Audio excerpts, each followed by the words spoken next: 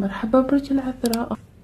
بشكل عام برج العذراء أحسك أنت والشريك قاعدين تمرون بنفس تقريبا نفس الأمور اللي اللي قاعدة تمنعكم من الالتقاء في الوسط. حاليا هي نفس الأمور ومحتاجين أن تتخلصون منها في هاي الفترة. وأحب أذكرك بشي يا برج العذراء. أنت من أكثر الأبراج اللي محافظة على طاقتك النقية داخل. يعني دائما تحسن الظن في الناس. دائما لحد الآن عندك أمل في الناس. وترى دائما الجانب الأفضل من الناس. وبالتالي تعطيهم الكثير من الفرص. تقريبا فرص يعني بعدد غير محدود. من الصعب عندك يا برج العذراء. على كثر ما إحنا نحبك ونحتاج طاقتك الجميلة معانا ولكن الأشخاص الخاطئين يقومون باستغلال طاقتك الجميلة طاقتك النقية. فوصلت أشوفك هني في البداية لمرحلة أن تؤمن بالحب ولكن استسلمت عن الحب. يعني من النوع اللي تشوف الحب لن يحدث لك أنت يحدث للآخرين بشكل يومي. تسمع عنه طوال الوقت وتؤمن أنه موجود فعلا. وصلت مرحلة بسبب الأشخاص الخطأ أو المواقف الخطأ اللي أنت موجود فيها حاليا لمرحلة أنك مخذول في الحب فأول نقطة عشان يصير اللقاء بين أشوف طاقتك فوق أنت وطاقة الحبيب تحت عشان يصير اللقاء في الوسط أثنينكم أنت والشريك يجب عليكم التخلص من أمور حولكم لا تفيدكم تستنزف طاقتكم. هاي اللي قاعدة أشوفها سواء الشريك شخص جديد راح يدخل حياتك شخص من الماضي شخص كان دائما موجود حولك ولكن ما كان في بينكم علاقة بغض النظر. عندك التمبرنس أو البالانس طاقة الشفاء أو التعافي. هي طاقة برج القوس ولكن الأبراج يعني غير مهمة. في هاي القراءات. يعني أنا أشوف أي حد ممكن ياخذ طاقة أي برج ثاني جدا عادي. وعندك ستة الأغصان وهي أيضا طاقة نارية. أرى أنك يا برج القوس صار لك فترة صار لك فترة عشان كذي أنا احتمال أشوف أن هذا الشخص كان دائما موجود في حياتك حتى لو خلف الكواليس حتى لو بصورة مؤقتة. حتى لو من بعيد حتى لو بدون علاقة ولكن كان موجود آه، من بعيد في محيطك. أوكي؟ لأن أنت عندك ستة الأغصان. اللي قاعدة أشوفه أنك محاط بالكثيرين. الكثير من الأشخاص يحبونك وأنت محبوب مثل ما قلت لك إياها. طاقتك جدا مطلوبة ومؤثرة على الجميع.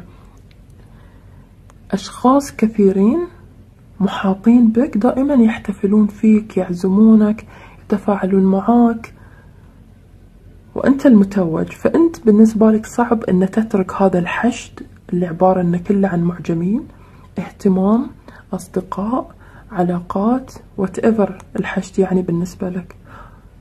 الكارت هاي يقول لك انظر فعلا إلى الأشخاص المحيطين بك الأشخاص اللي قاعد تستمتع معاهم وتقضي معاهم وقت. وتستثمر فيهم انظر لهم. وحاول تكتشف من هم الأشخاص وما هي نواياهم خلف الأقنعة اللي يلبسونها. هل جميعهم يريدون لك السعادة والخير؟ لأن هاي الكارت أحس طاقته لا. بعضهم مثل الأسرة الأب والأم طبعا لو كانوا موجودين في محيطك طبعا يصفقون لك يريدون لك الخير ولكن أيضا اختلط الجيد بالسيء عندك هنا أن طاقتك نقية في بعض الأشخاص طاقتهم نقية. ولكن استغلوا الفرصة أشخاص ثانيين ممكن يكونون من أفراد الأسرة المعارف صداقاتك. أي أشخاص محيطين زملاء عمل دائما أحسهم شاغلينك عن شيء أهم. وجودهم يعني مثل ما نقول إحنا العدو اللي لابس رداء الصديق دائما يشغلونك عن شيء مهم.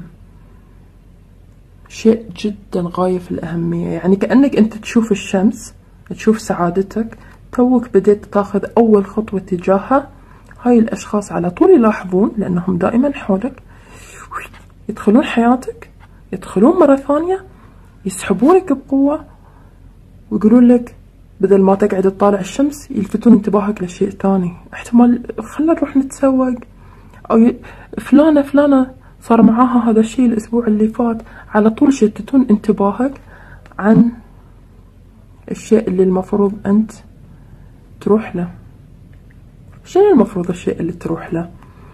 أنت عارف أحس إن على مستوى معين أنت عارف إن هذا الشخص موجود وهذا الشخص ينتظرك. وناطر منك أنت يعني جواب. ينتظر ردة فعل أو حركة منك تعطيه الضوء الأخضر عشان هو يتحرك اتجاهك. لأنه فعلا أيضا يراك أن أنت جدا مشغول. إنسان very busy ومشهور ومحاط بالأحباء والمعجبين وما عندك احتمال وقت له. ولكن أنت تعرف أن في النهاية ال Temperance هي مثل الملاك ماسكة كوبين في يدها كوب فيه أتوقع نار نار كوب فيه ماء وقاعدة تحاول تخلطهم بطريقة متزنة عشان تحافظ على الكوبين. شيء كذي. فالسؤال اللي لازم تطرحه على نفسك ولأن جدا لدينا طاقة أكواب كثيرة هني. ما تتوقع أن حان الوقت أن أنت فعلا تختار كوب من هالكوبين؟ تختار اتجاه وتمشي فيه عشان توصل للمستقبل اللي أنت تحلم فيه. وأيضا لديك كرت الريليس الموت. كرت الموت في هاي التارو مسمينه ريليس معناه تغير الأشياء معناته أن أنت لازم تترك الأشياء اللي ما عادت تخدمك اللي ما عادت تصب في مصلحتك. أحس أن هاي الشيء اللي في اللي صاير عندك ورا صار له فترة طويلة بحيث إنه صعب حتى بالنسبة لك إنه تغيره. تعودت على هاي الأشخاص. ما تتخيل حياتك بدونهم. ممكن يكون شخص فقط معين واحد. الله أعلم. ولكن أنت اللي لازم تقرر. القرار لازم ينبع منك أنت. ريليس الملاك المسؤول عنه عزرائيل. أزريل وعندك عشرة الأغصان. وعندك الهرمت. بالضبط مثل الكلام اللي قلته لك قاعد يتردد في كل الكارتات.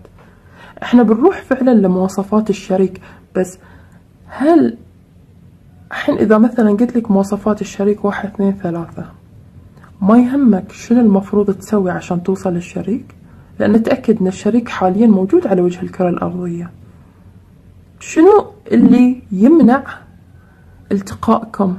هذا هو السؤال الأهم. وراء هاي القراءة. حتى لو بعض الناس فقط يدخلون القراءة عشان المواصفات الشكلية عشان لما يدخل حياتهم يعرفون شلون يتصرفون. ما تبي أول ترتب حياتك عشان لما يدخل هذا الشخص فعلا تحصل السعادة بدل ما تتكركب الأمور أكثر؟ ما تبي تكون جاهز؟ هاي السؤال لك. أنت الحين شئت أم أبيت؟ أنت وصلت مرحلة ما تقدر فيها تمشي خطوة زيادة عندك عشرة الأغصان مثقل كاهلك. عندك عبء.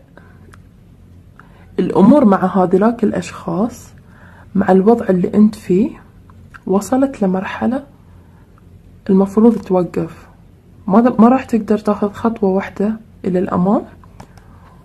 وهاي الأشخاص احتمال ما يكونون بس أشخاص احتمال يكون نمط حياة معين عندك نمط صرف متعود كثير على السفر على الأكل الكثير على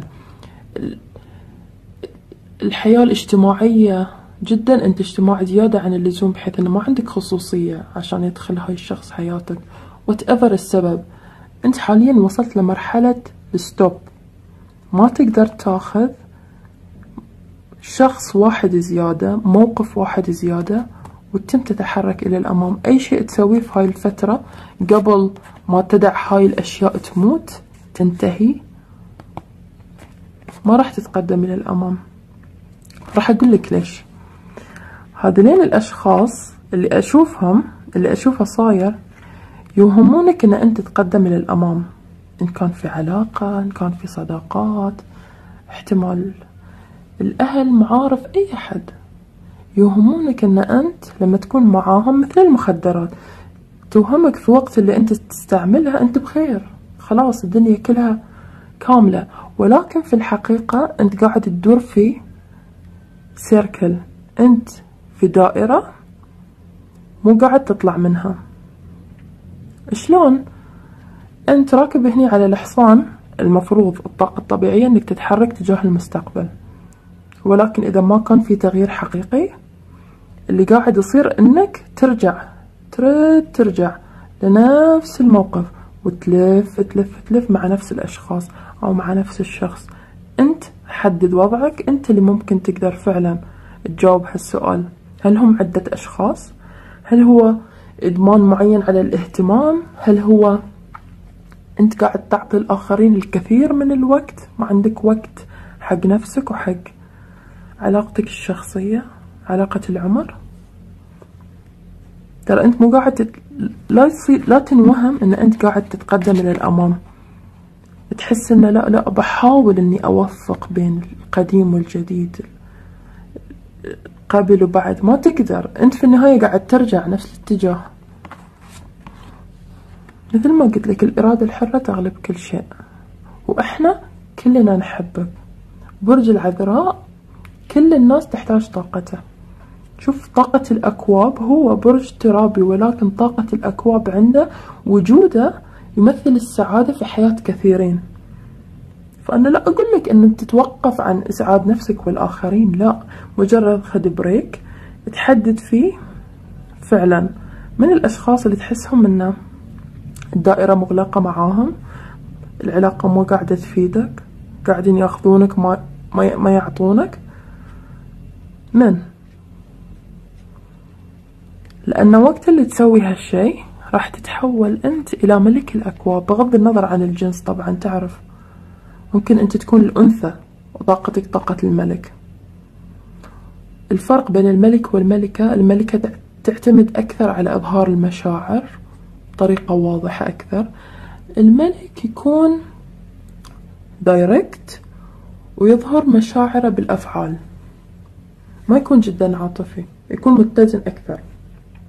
ولكن اثنينهم لما يظهرون في القراءة بهاي الطريقة اثنينهم متوازنين متكافئين. بما إنكم اثنينكم ملك وملكة الأكواب أرى إنكم تقريبا احتمال من نفس الدولة نفس آه، المذهب نفس الدين نفس الثقافة أو حتى نفس طريقة التفكير. تعرضت لنفس المواقف وهو أيضا تعرض لنفس المرحلة هو حاليا يمر بنفس المرحلة. اللي أنت قاعد تمر فيها. بس هو أحسه واعي أكثر أن التغيير لازم يكون ولازم يكون موجود والحين سريع. ملك الأكواب راح تكون أولا سعيد من أجل نفسك. لما تسوي هالشي أنت راح توصل لمرحلة سعادة أو تذوق سعادة ما ذقتها قبل بهالطريقة. لأنه راح تنبع من الداخل مو من الاهتمام الخاطئ من الأشخاص الخطأ. راح احتمال تجد أيضا سعادة في مشاريع أنت تركتها أو ما كان لك وقت تعتني فيها. دايما إحنا نكون عندنا حرفة أو هواية نحب نسويها. مع الوقت نهملها عندما ننشغل بالحياة الاجتماعية. فاحتمال أنك بالعكس هالفترة ترجع لهاي الأمور وتشوفها بالعكس تثمر معاك. ولكن طاقة الرحيل عن ما لا يخدمك أساسية ثمانية الأكواب. هذا الشخص وصل لمرحلة ثمانية وهو عديد عدد كبير من الأكواب يعني بعد الثمانية تسعة وعشرة وخلاص يكتمل الطقم. ولكن طاقة الثمانية تقول لك لازم ترحل عن الأشياء الأشخاص المواقف الذي لا تخدمك.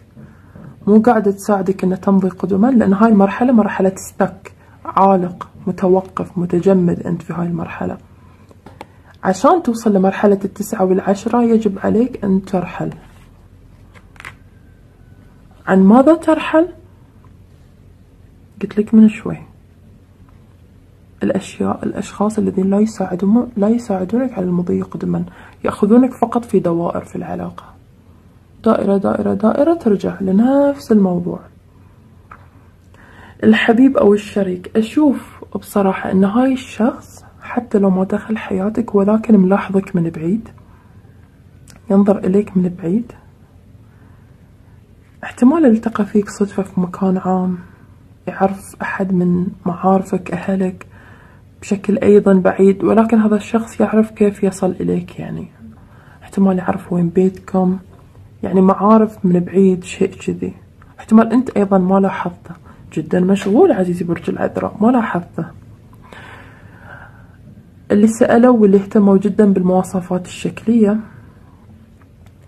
أشوفه ولكن طبعا المواصفات ما راح تكون نفس الشيء للكل. أشوفه إنسان احتمال بشرته تكون حمضية إلى بيضاء شعره غليظ وفيه شامة كبيرة أما في منطقة الوجه أو المنطقة العلوية من الجسم. بياضة أول شيء راح تلاحظه في هالشخص بياضة مع الشامة جدا راح يلفتون انتباهك شكليا. مو شرط يعجبونك بس راح يلفتون انتباهك. أول شيء راح تلاحظه في شكله. الصورة مو واضحة. أحاول أقربها. ولكن مو شرط يعني إذا تقدم لك أو أتى في دربك شخص تقريبا يحمل كل المواصفات اللي أنت تحلم فيها. وشخص جيد مو معناته أنه ترفضه لأنه ليس لديه شامة لأنه مو هو الشخص اللي في القراءة. دائما حكم عقلك. أوكي؟ هذا الشخص ليش أقول لك هو لاحظك وأنت لم تلاحظه؟ هو لاحظك من بعيد. عندك النجمة. النجمة بعيدة وأبعد حتى من الشمس بالعادة عشان كذي تكون نجمة. رآك من بعيد وشاف شاف حياتكم مع بعض يعني اللحظة اللي شافك فيها. أو لاحظ حتى تصرفاتك. بسرعة قرر إنه فعلا أنت تحقيق لكل أمنياته. أنت الشريك اللي يقدر يبني معاه حياته. هو يراك يعني مثل الحلم. أشوفه حاليا احتمال ما بينكم تواصل ولكن هو دائم التفكير فيك. دائما يتخيل يعني بالعادة المرأة هي التي تفعل ذلك ولكن بالعكس الرجل يقدر يسوي هذا الشيء. دائما لأنك بعيد عنه دائما يتخيل حياته شلون بتكون معاك الحياة الزوجية الحياة اللي أنتوا تعيشون فيها مع بعض. قاعد يتخيلها بكثرة. ولكن الخبر الجيد أن هذا الشخص التغيير بالنسبة له راح يكون أسهل. هو أيضا يحتاج أن يرحل عن أمور ما عادت تخدمه. أو أشخاص. بالنسبة له أمور أكثر من أشخاص هو محتاج يرحل عنهم عشان يصير اللقاء في النص عشان يكون جاهز ولائق إنه يلتقي فيك. لأن عنده أربع خماسيات والتاور مرحلة سقوط البرج وعنده الكوب. هذا الشخص عنده كوب. الكوب راح يقدمه لك كحب. كعرض زواج كعرض استقرار ارتباط. ولكن هو يعرف يعني أحسه واعي أكثر منك بالتغييرات الذي التي لازم تصير. واعي أكثر منك من هالناحية يمكن لأنه صريح مع نفسه أكثر أو يكون من برج ثاني. برج احتمال آه، برج مائي لأنه دائما متواصل مع نفسه ومشاعره. انزين. عنده أربع الخماسيات وال life experience هاي الشخص يعرف من زمان من زمان عنده كامل العلم إن الأشخاص والمواقف والطريق اللي هو عليه في السابق لا يخدمه لا يساعده وما راح يوصله لك. وما يقدر يستمر فيه إذا كان فعلا يبي حياة معاك. إن كانوا أشخاص من علاقات سابقة إن كان زواج سابق إن كان تعلقات بنمط حياة معينة حياة السفر حياة الاستقلال whatever. بغض النظر ما تمثله أربع الخماسيات بالنسبة لهالشخص يعرف أن تغيير 180 درجة يعني لازم يهد البرج من أساسه والبرج بنيان والبنيان يأخذ وقت وجهد لكي يبنى. فصعب إنك تهدم برج في لحظة واحدة ولكن البرج هو يمثل لها يمثل هاي التغيير المفاجئ. لازم يكون في تغيير عنيف في هاي المرحلة عند هاي الشخص عشان ويتخلص من كل الأشياء اللي ما تساعده. هو أيضا لديه أشوف أن لديه طب أن هي طاقة أكواب عنده يعني مثل خذلان ولكن أكثر منك. هو عنده تخوف صاير من الحب. أنت عندك خذلان. هو عنده تخوف. ولكن يعرف جدا أن هذا الشيء هو المطلوب وأشوفه أيضا راح يتخذ عشان ما يقعد ما يتم مثلك في هالدائرة راح يختصر على نفسه وراح ينهي الموضوع بسرعة جدا وبفجأة مثل ما يقول لك نزع الضمادة. أنت راح تنزع الضمادة عن نفسك ولكن ببطء بألم. راح تحس بكل شبر ألم كل جزء. هاي الشخص أيضا يعرف أنه لازم ينزع الضمادة راح يختصر على نفس الموضوع يخلي البرج يقع يفعل ما يريد أن يفعله ما يجب أن يفعله وينهي الموضوع. ويأتي لك جاهز بكوب صافي من الحب وعرض من القلب بنوايا طيبة. عندك Queen of Water قلت لك الملكة ممكن تكون رجل ممكن تكون مرأة. الملكة واضحة أكثر في مشاعرها فممكن هو يجيك يقول لك يوضح لك مشاعره يوضح لك نيته في يد الملكة أو الملك قاعد ينظر إلى هاي الكوب. كأنه ينتظر اللحظة المناسبة اللي يحس ظروف مناسبة عشان يقدم لك هاي الكوب. قاعد ينظر إلى الكوب يترقب. يترقبك أنت أيضا. أنت متى راح تكون مستعد عشان تعطيه يعطيك هذا الكوب؟ لأنه شوف أنت حاليا مشغول مو بس بالأشخاص حتى بالأكواب. الرسالة جدا مترابطة لك. أنت مشغول. عندك أكثر من كوب في يدك. لا عطاك كوب في هالوقت في هالظروف حاليا. وين راح تضعه؟ على الطاولة؟ على الطاولة لا يعتبر قبول لعرضه. صح؟ لازم يدك تكون خالية تكون مستعد على نفس مستواه من الطاقة والاستعداد عشان يعرض عليك حبه.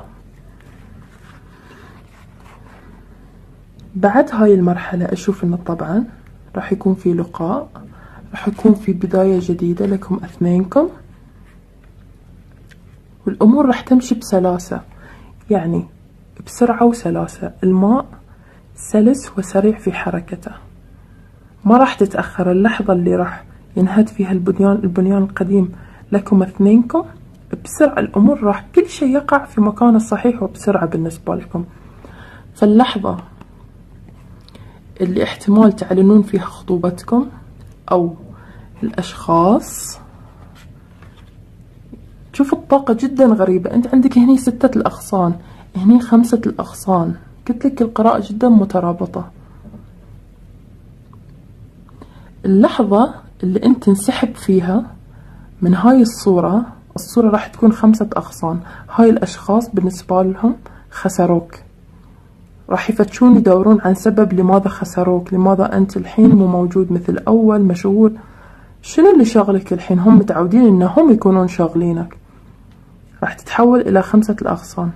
يخسرونك من الصورة صح؟ وتكون مستعد لوحدك الغصن الواحد الصغير. راح تكون مستعد لوحدك مع هاي الشريك للبداية الجديدة. هاي الأشخاص راح يظلون يحمون حولك أكثر من الشريك لأن الشريك راح يهد البنيان من أساسه ما راح يستعمل حل. برج العذراء انت طاقتك كيوت راح احتمال تنسحب من عندهم. هذا راح يهد البنيان ينهي الأمور من جذورها. فهاي الأشخاص أتوقع أنهم من محيطك أو محيطة أتوقع من محيطك أكثر أو من محيطة بس حاطين بالهم عليك أكثر أنت. راح يتمون يحمون حولك أنت. شوف أنت واقف. بيدك العرض الجديد من الحبيب الشرارة الجديدة مستعد للخطبة. صار الكلام عن عقد القران. هاي الأشخاص راح يدخلون مثل الوسواس مثل إبليس الرجيم من الكواليس من الوراء. راح يحاولون يردون يسحبونك لنقطة الصفر. يردون يوسوسون لك يخوفونك يشككونك في نوايا هاي الشخص يشككونك في قرارك. ممكن يسوون ألف حيلة. أنا قاعد أعطيك مجرد أمثلة عشان هاي نصيحة جدا مهمة لك حق المستقبل. لما تترك هاي الأشخاص يرجع رقمهم لخمسة كن جدا حذر أن تثق. يعني جدا حذر وين تضع ثقتك. ثقتك اسحبها من أغلب الأشخاص وضعها في الأشخاص اللي مليون في المية مستحيل يخونونك مستحيل أن, أن يتمنون غير الأفضل لك. مثل الأم الأب الأخ الأخت. يعني كن جدا حذر في مرحلة ما بين لقائكم الارتباط وما بين خلاص عقد القران والزواج. هاي مرحلة أشوفها جدا حرجة. راح يأتيكم الكثير من الكلام الوسوسة الضوضاء يحاولون يخربون بينكم.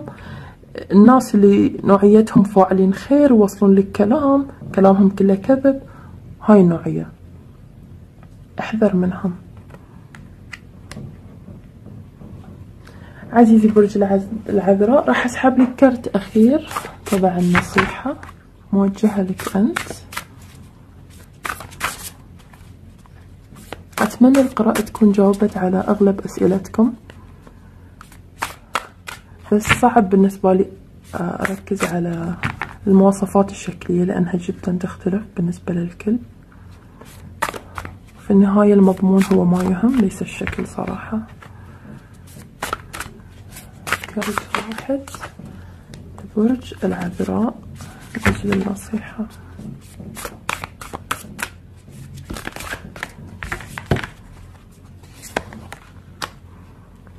Physical touch. A tender touch can mean so much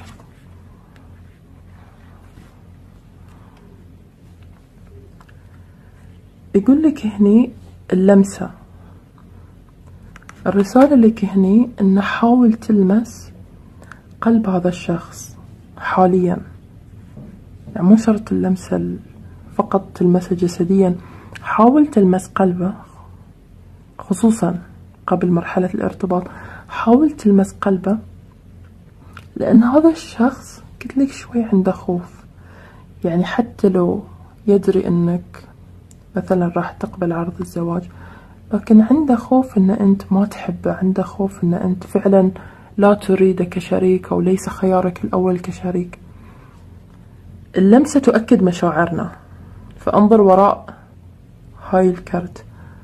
أكد لهذا الشخص ركز على هذا الشخص وأكد له دائما طول الوقت لأنه دائما محتاج التأكيد. دائما محتاج من النوع اللي محتاج يدري أن أنت سعيد معاه أن أنت تحبه أن أنت أنه هو أولويتك أن أنت مستعد أنه يدخل حياتك. فدائما عطى لي green light الضوء الأخضر وأكد له